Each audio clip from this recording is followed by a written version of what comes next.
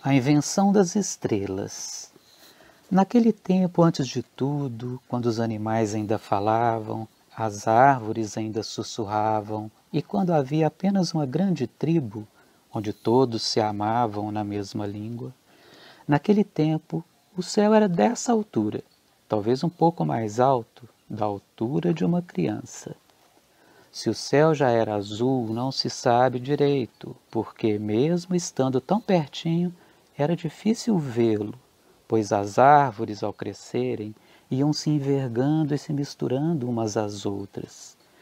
Nos poucos espaços que havia entre elas, os pássaros voavam apertados, mas quem tinha mesmo problema com esse céu tão baixo eram as crianças. Elas eram responsáveis por fazer quase tudo na grande tribo. Isso porque os adultos viviam com dor nas costas pois tinham de andar sempre curvados para não baterem a cabeça no céu. Então as crianças tinham de guiá-los a todos os lugares, de modo que nunca sobrava tempo para brincar. E brincar era o que elas queriam. Mas um dia, um menino bem menino, como era, como são os meninos de todos os tempos, ficou incomodado por não ter tempo para brincar. Invocado como era, convocou as outras crianças para apresentar sua grande ideia. Ele queria levantar o céu.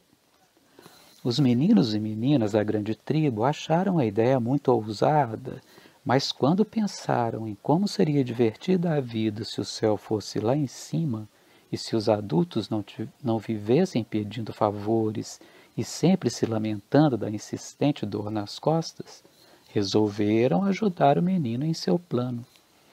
A missão começava com cada criança segurando um pedaço bem longo de bambu.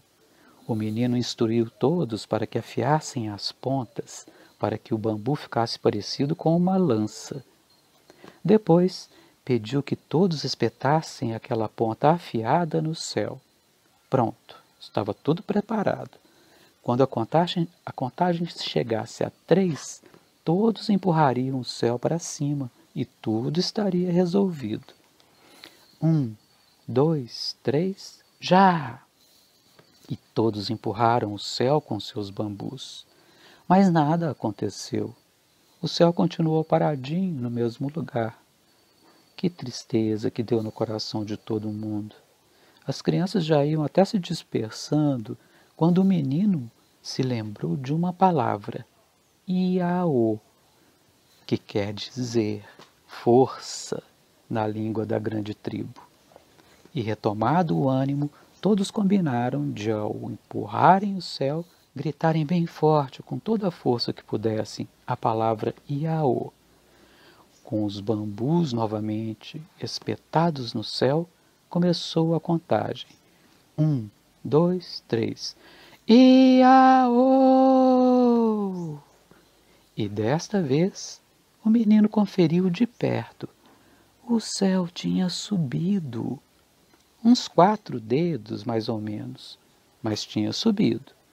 Foi então que ele percebeu que aquela palavra evocava mesmo uma força transformadora e suspeitou que mais importante do que a força da garganta era a força do grito que vem do coração.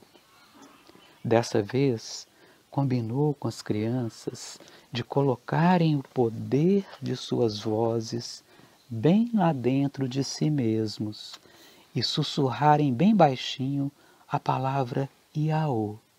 Novamente a contagem. Um, dois, três. Iaô. Nem a antiga língua da grande tribo tem palavras para descrever o encantamento daquela manhã. O céu foi subindo, subindo, subindo, até colar lá no infinito. E as árvores se espreguiçaram, e os pássaros se alvoroçaram pelos ares, e os adultos desencurvaram-se e animaram-se para o trabalho, para a vida, para a liberdade que haviam ganhado de presente. As crianças libertadoras, foram também libertadas. Naquele dia, brincaram até o céu escurecer. A alegria delas era tanta que contagiou toda a grande tribo, até os mais velhinhos. Quando chegou a noite, fizeram uma grande festa para celebrar a subida do céu. E qual não foi a surpresa de todos quando, ao olharem para o céu, viram que toda a abóboda celeste estava cheia de furinhos, as marcas das pontas dos bambus, e que agora, em cada buraquinho, brilhava uma luz que parecia vir de um tempo muito distante. Foi assim que as crianças inventaram no mesmo dia a liberdade e as estrelas, essas coisas que brilham